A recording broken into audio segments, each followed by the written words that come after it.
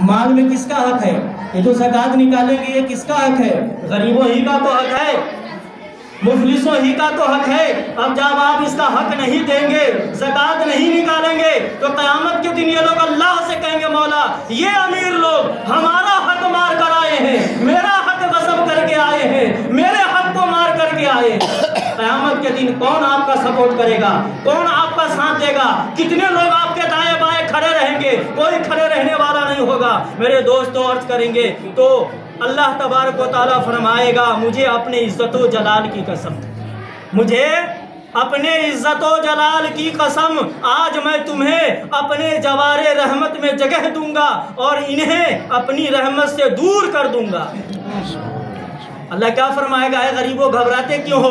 आज मैं तुम्हें अपने जवारे रहमत में जगह देता हूँ। जल्दी से आओ और इन अमीरों को अपनी रहमत से दूर कर दूँगा। जब रहमत से दूर कर देगा तो अंदाज़ा कर सकते हैं आपको आपको क्या हो सकता है। आगे ये आयत मेरे आका ने पढ़ी, फ़ी अमवालिहिम हक्कुम मालूमुन लिस्साइल वल महरूम। ये कुरान की आयत है, अग्निया के माल में साइल और फकीर का एक मुन हक है। एक नापा तौला हक है। जो आपको देना ही पड़ेगा। फरमाने नबूई है कि मेराज की रात मेरा गुजर एक ऐसी कौम पर हुआ, जिन्होंने आगे पीछे चीथड़े लगाए हुए थे और जहन्नम का थोहर, एलवा और बदबूदार घास जानवरों की तरह खा रहे थे। अल्लाह के नबी ने फरमाया कि मेराज की रात मैं ऐसी कौम से गुजरा कि वो एलवा और बदबूदार घास जानवरों की तरह खा रहे थे।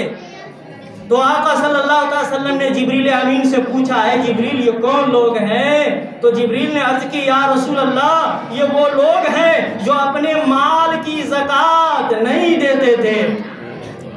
नहीं देते थे। अल्लाह ताला ने इन्हें इन, इन्हें नहीं बल्कि इन्होंने खुद अपने आप पर जुल्म किया है। पैसा आपने कमाया, अल्लाह ने आपको बरकत दिया, आप बहुत पैसे वाले हो गए, आपने जक़ात नहीं निकाला तो आपने खुद ही अपने आप पर जुल्म किया ना?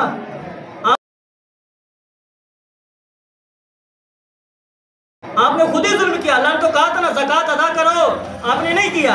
बहरहाल, मेरे दोस्तों और बुज़ुर्गों, मेरे आका सल्लल्लाहु अलैहि वसल्लम के गुलामों, जक़ात निकाला करे, हुजूर सलाम का इरशाद एक मुलाजा कर ले, उसके बाद मैं अपनी गुफ्तु ख़त्म करूँ कि ज़क़़त, अल्लाह के नबी ने फरमाया, ज़क़़त ना देने वाले अल्लाह के यहाँ यहूदो, नसारा की तरह है।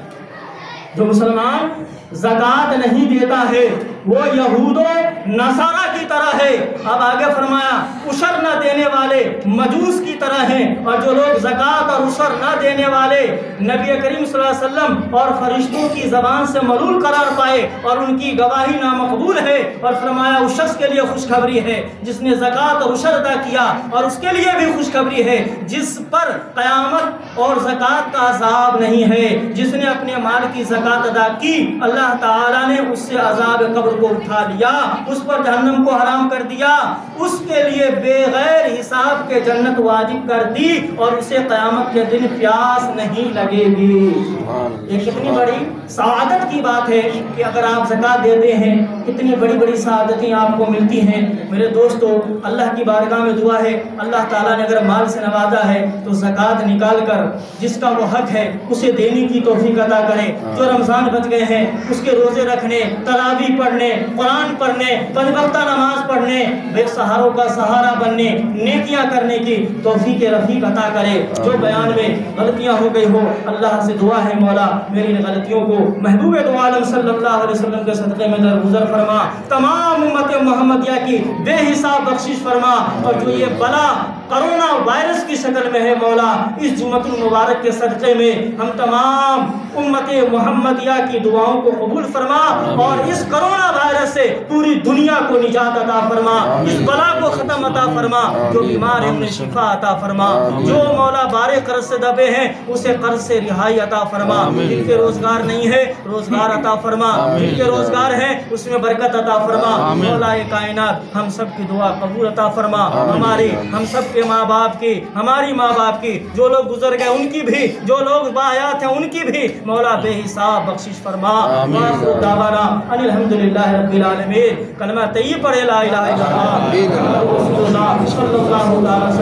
और एक बात ये है कि कभी कभी ऐसा होता है कि मांगने वाला देने वाले तक नहीं पहुँच पाता है और कभी देने वाला मांगने वाले तक नहीं जा पाता है। ऐसा भी होता है कि मांगने वाला देने वाले तक नहीं पहुँच पाता है और कभी देने वाला जो ज़रूरतमंद है उस तक नहीं पहुँच पाता है। ये दोनों पहलू हैं। लिहाजा हज़रत मौलाना मुमताज़ आलम साहब ने ये उन्होंने फरमाया कि मैं बरेली शरीफ में रहता था। तो जो मुस्तक होते थे लॉकडाउन की वजह से पहले आ गया, उन्हें नहीं दे पाया।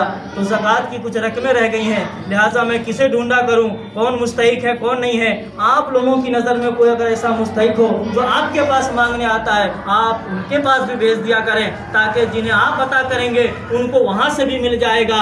जिनको हज़ार होना होगा, उसको दो हज़ार हो जाएगा। उसकी खुशियाँ और बढ़ जाएँगी, उसके काम और अच्छे हो जाएँगे। आप भी उन्हें दें और उनका पता उन्हें भी बता दें कि भाई फला बंदे के पास तुम पहुँच जाओ वहाँ से भी कुछ ना कुछ अता हो जाएगा। मैंने दोनों पहलू रखे हैं कि कभी मांगने वाले को देने वाला नहीं मिलता है और कभी देने वाले को मांगने वाला नहीं मिलता है। इस बात को सिर्फ़ नज़र में रखें और अगर आप जिन्हें अता करते हैं जो आपको जानता है आप उन्हें जानते हैं आपके पास मांगने के लिए आ रहा है तो उसे मांगने वाला ना समझे। अल्लाह का शुक्रिया अदा करें कि मौलाए काना जैसा तूने मुझे बनाया है इसे भी वैसा ही बना दे ताकि ये भी देने वाला बन जाए देने वालों में से ना रहे। किसी की गरीबी का मज़ाक ना उड़ाए, किसी की मुफलिसी का मज़ाक ना उड़ाए, किसी की परेशानी का मज़ाक ना उड़ाए। इसलिए अल्लाह के पैगंबर हर एक उम्मती के लिए रोए हैं, उसमें कोई भेदभाव नहीं।